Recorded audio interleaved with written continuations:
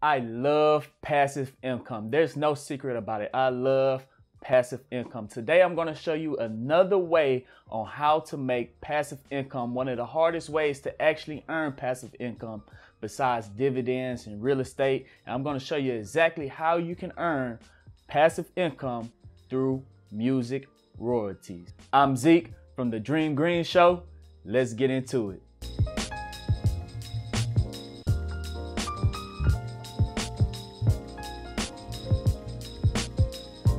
Hi, welcome back to the channel. I'm Zeke. If you're new to this channel, I make videos mainly on how to make passive income, how to earn money uh, besides just working a nine to five at your job, and how to invest your money. Um, I usually earn passive income through dividends. I grow a dividend account. I usually grow my portfolio by buying a dividend stock every single week or a couple every single month. And I do also buy some growth stocks.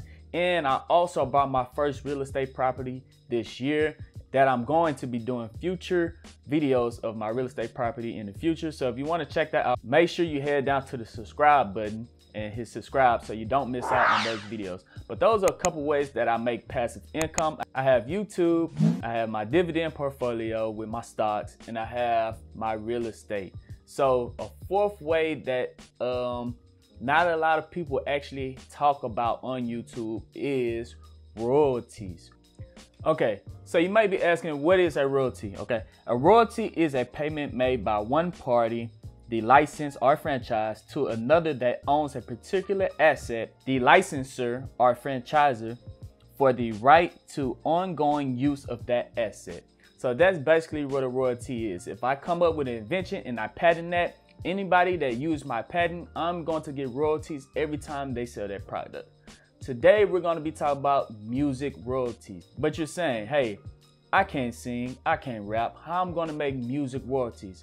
Well, if you stick around to the end of this video, I'm going to show you this website that you could go on and actually buy platinum hits and own the rights to those songs that you will make money on every single year. And all you have to do is pay taxes on those properties that you own. All right, so keep in mind that you could buy royalties to a song from anywhere from five years, 10 years, or the lifetime contract, all the way up to 70 years. I think 70 years is the lifetime contract after death.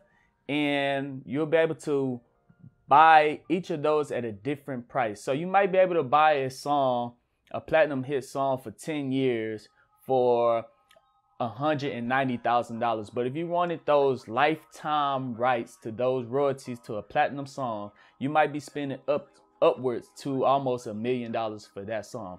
But you do not have to buy a platinum hit. You could also buy uh artists that you believe that is going to blow up in the future. And you could buy those rights to those songs anywhere from $30,000 for 10 years or $30,000 for 50 years on the royalties to their song. Now, don't get it wrong, this is a business. Those artists could have went out and paid advertisement to boost the plays of those songs just because they knew that they was going to sell the royalties to those songs at the end of the year just to just to show that this song is making this much money this month these last couple months this last year this is how much you should sell it for so you have to do your research on how much these songs were making last year, the year before that, and the year before that, just so you can know the ballpark of how much money you're going to make in the future on your song. Now you could work for a business for you. Once you buy the song, you could go out and talk to these different companies and say, hey, you could use this song in this video, you could use this song on this TV show, on this commercial, and you could advertise the song yourself and make even more money from the song once you own the properties to the rights of that song, you can make more money than that artist was actually making themselves because they have a million other songs that they're worried about. But you could control that one song and go out and make money from that one song just by you being an advertisement of your own intellectual property.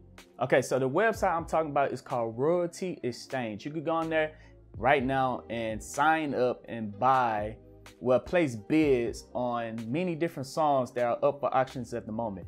Now, it's not a site that you could just sign up and place a bid. You actually have to sign up, go through an interview process. They're gonna call you, Make sure that you have the funds two hours in advance before you can even place a bid. So it's it's a it's a very trustworthy website that you could go on to buy these royalties to these musics. So you can't just go on there and make blind bids. They actually go through an interview process to make sure that you're a serious buyer because there's a lot of money involved when it comes to these rights to these songs. So let's pull up Royalty Exchange right quick on my laptop just so I can show you guys what I'm talking about.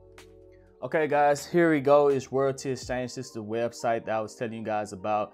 Um, if you want to buy royalties, this is this has been featured on the Wall Street Forbes, Bloom, Rolling Stones.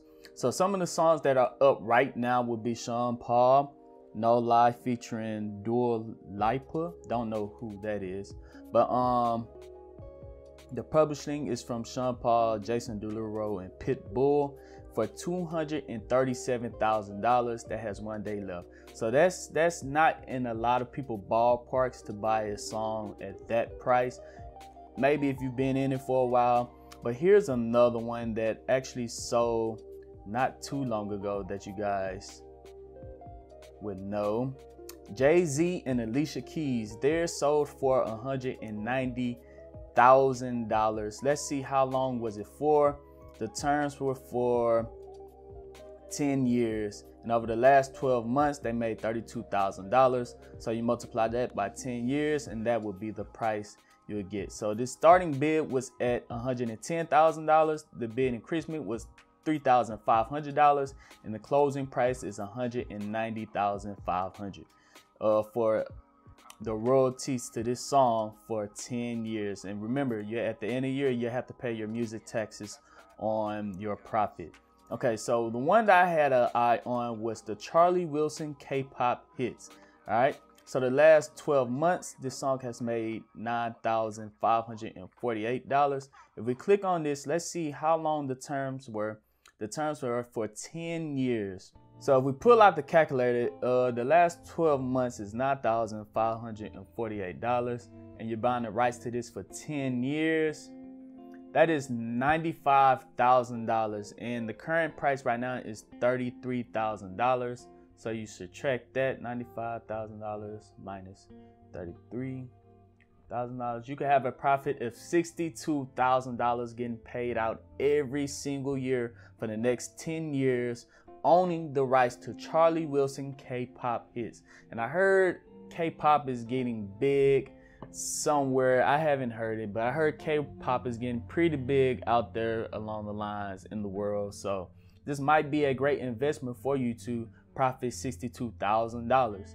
So if you do have $33,000 to invest and you don't want to put that down payment on a house or you already own real estate, maybe you want to add another source of income such as royalties as a source of income so you can be, um, you can own royalties to songs, to music, and once you make your profit back from this song, you could come back and buy another song, and sooner or later you'll have a whole portfolio of royalty songs that's paying you out every single month, every single year that you're going to accumulate. So you will have um, real estate, your dividends, your job, and you'll have royalties coming in just like that. So now you guys know exactly how to get music royalties every single year added to your portfolio as another source of passive income. Now you can make this a job and go out and advertise this music to different companies, different shows,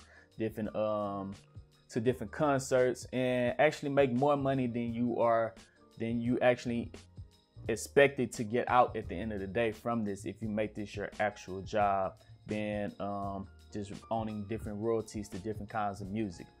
But yeah, guys, um, I'm not an inventor, so I don't have any patents or anything like that. So I am actually looking for a way to make royalty incomes. I thought this one was pretty cool.